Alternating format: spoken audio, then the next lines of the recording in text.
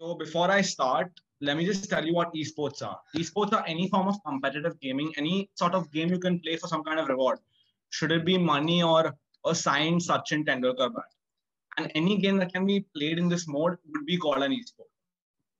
Let's keep that the last of the facts, and let me tell you a story instead.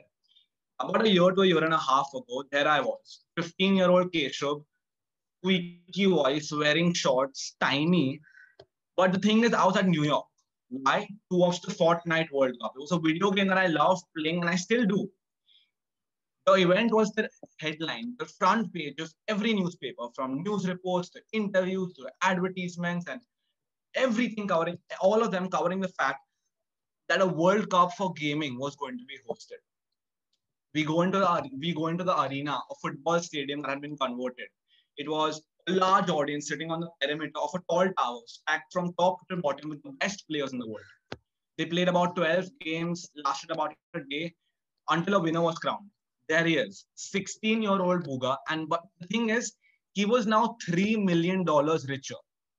It hit me then and there that we both were the same. We were both the same age. We were both playing the same game and we both had the same opportunity. It could have very well been me holding that trophy. Only I wish the, the variable he had invested his time to the game, trying to get better, learning new strategies, just involving his sense, gaming sense. Whereas I, on the other hand, was just your classic weekend player. It struck me that if a teenager could be making double, triple, or quadruple the salary of both his parents combined, and why is it that esports is a career that is frowned upon and that gaming is nothing more than just a hobby? Think about it this way about 30 years ago, the basic formula of life was become either a lawyer, a doctor, an engineer, or a businessman. That's easy and that's very simple. The thing is that if our parents told their parents that I want to become a stand-up comedian, or I want to become a model, or I want to become a guitarist, they would probably be laughed upon and they would tell them to go to the side and say that one day you will grow up. Come to today's time and you would be shocked to know that these are some of the most sought after careers. And that everyone is trying to become the next Shawn Mendes or the next Kendall Jenner. Why? Because the times have changed. People view people's views, their opinions, and their general perception of a career has changed. Similarly, the world is now technologizing. What we do today in the near future will probably be done by some kind of computer or some kind of robot. Any middle class or higher family that you walk into will probably have a phone per person, a computer, a laptop, two televisions, a gaming system, headphones, earphones, speakers, and probably one of those Alexa home devices.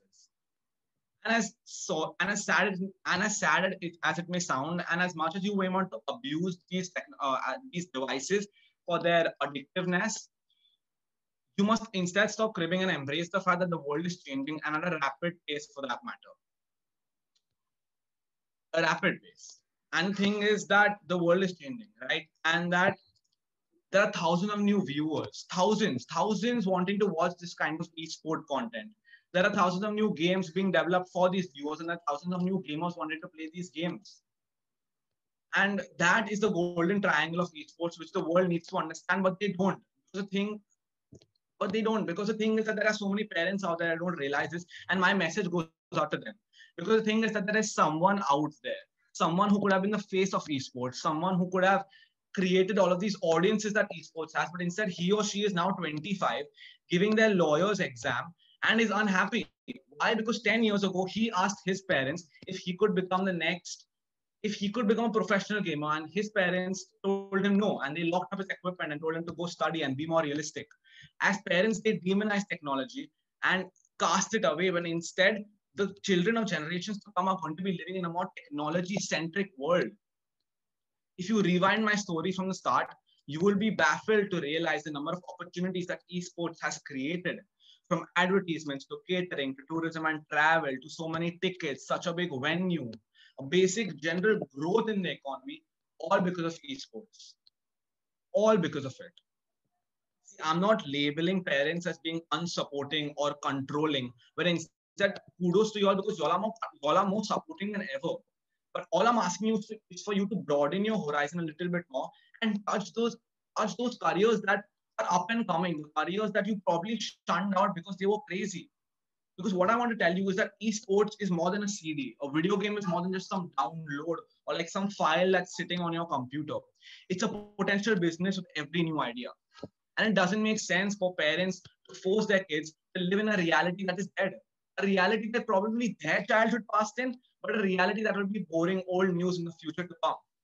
As much as you may try to negate me and argue with me, you would all be guilty if you just admitted that you made your fantasy league every IPL match or you played your Ludo game every night because these are all esports. And you're probably shocked, and I can use that to tell you that esports are bigger than you think. But what I will tell you is that esports has not reached its full potential yet. As, as President John F. Kennedy once said, the children of today are the future of tomorrow. And from the way I see it, the world may just be moving to get its tech savvy makeover, and I may have just given you one of the golden tickets to success. Take it or leave it.